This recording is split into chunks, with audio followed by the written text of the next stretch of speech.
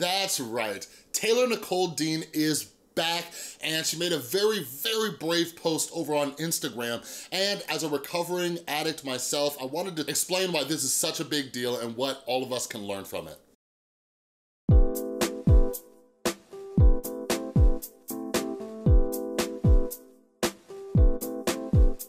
What is up, everybody? This is Chris from The Rewired Soul, where we talk about the problem, but focus on the solution. And if you're new to my channel, something I like to do is when a YouTuber is out there talking about something that I'm very passionate about, which are things like addiction recovery, the opioid crisis, mental health in general, I like to shine a spotlight on that. So if you're into that stuff, make sure you subscribe and ring that notification bell. And if you're somebody who wants to learn more about the current opioid crisis going on in our country right now, feel free to check the video I did just last night about John Oliver from last week tonight's new episode talking about the opioid crisis. I'll link that up there in the info card, all right? So, Taylor Nicole Dean, she is back. She just made um, an Instagram post with uh, notes kind of explaining where she's been, what she's been through and everything like that. I wanted to discuss that and I'm coming from a place not as a licensed therapist or anything like that, but like I mentioned, I am a recovering opioid addict. Um, recently, I also shared my story about my opioid addiction and recovery, and I was one of the very fortunate people where I didn't progress from prescription opioids to heroin, but I was about this close. So I'm speaking from my own experience, but I also worked in a drug and alcohol addiction treatment center for a little over three years, and I have a lot of experience in that realm. So I want to talk about some things that she discussed. So if you're interested in learning more about that, or you are somebody trying to get clean, or you are clean,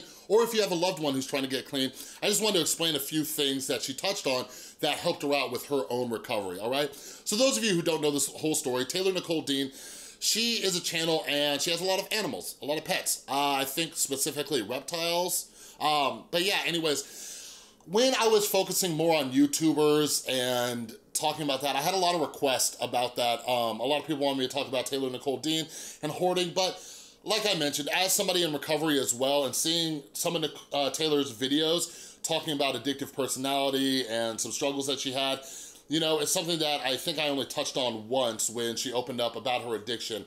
But anyways, um, I, I hope to to increase some awareness and some empathy for a lot of people who don't understand because in Taylor Nicole Dean's first note, the first picture on there, she talked about how she was making this post because of all the awful things she saw people were saying to her about her addiction and how she wants to be someone, you know, giving a voice to this, and she was very fortunate to have a support group.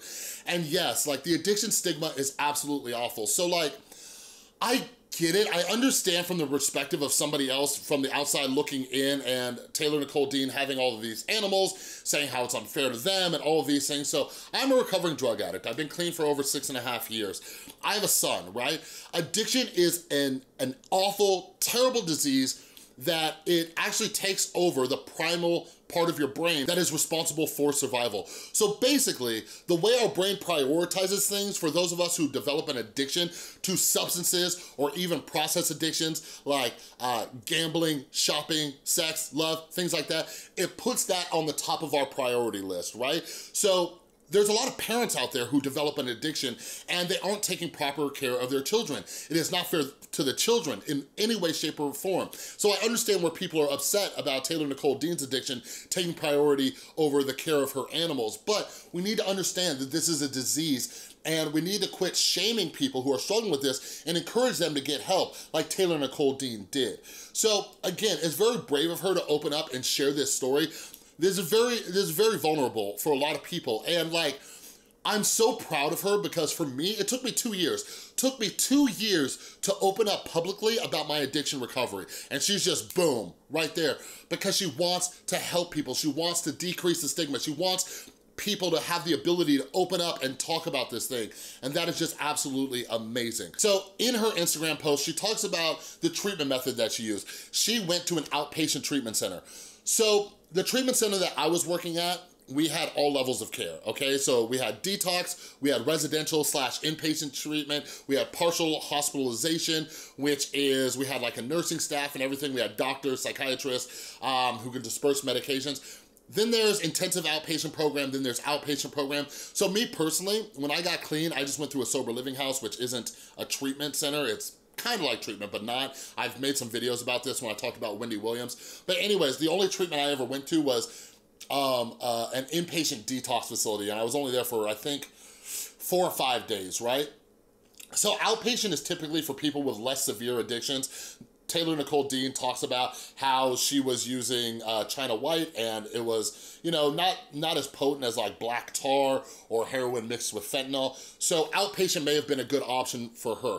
If you're somebody with a very severe addiction, if you're somebody who struggles with chronic relapse, I highly, highly, highly recommend an inpatient program because for a lot of us, we aren't even safe for ourselves. So in outpatient, you can travel um, from home to the treatment center or you might be living in sober living, going to outpatient and things like that. At the treatment center I was working at, you had to be doing well in, you know, residential treatment in order to um, reach the next step, which is outpatient. So that might be a good option for some people. One of the recommendations I have is talk to an addiction specialist. There are different criteria that they use, like the ASAM criteria, where they assess your addiction and they talk about different things in your life, like your, your dependency to it, your withdrawal potential, your relapse history, what kind of support system you have. And based on all that, they'll say, okay, I think you should do residential, I think you should do outpatient, and all that stuff. So talk to a professional before you make this decision, okay? Because I've seen many people make the mistake of doing outpatient when their addiction was more severe and they needed inpatient. So it led to a relapse, and if they were lucky, they got into an outpatient and realized that. So the next thing is, Taylor Nicole Dean, um, she's on Suboxone, and she talks about Vivitrol. So she talks about how this blocks the opioid receptors. Yes, Suboxone is a great, great, great medication. What it does is it also helps with withdrawal. Typically, um, I personally, and there's a bunch of different uh, opinions on this, and again, I am not a doctor or anything like that. This is just from my experience and what I've seen with people. Typically with Suboxone, I recommend a, a pretty quick taper, okay? So Suboxone helps getting off of opioids and it also blocks opioid receptors. Then she mentions the Vivitrol shot. So Vivitrol is different than Suboxone. So Vivitrol, what that is, is it's an antagonist, okay? So it prevents you from getting high, all right? Suboxone is a partial opioid. So some people get on Suboxone and they stay on it way too long and then they can have withdrawals from that too. At my treatment center, we would taper people off within a week or two. So Vivitrol is a 28 day shot. Some insurance companies cover this, some do not. I personally, when I got clean, something that saved my life was naltrexone. So naltrexone is like Vivitrol, but it's a pill form. So I would take that pill every single day. The reason I did it is because I didn't have insurance, so I would take that once a day.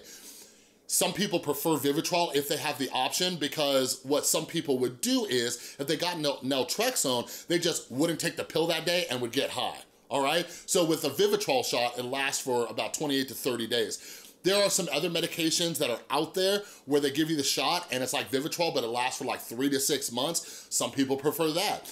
But naltrexone saved my life because what it did for me is it helped to reduce my cravings.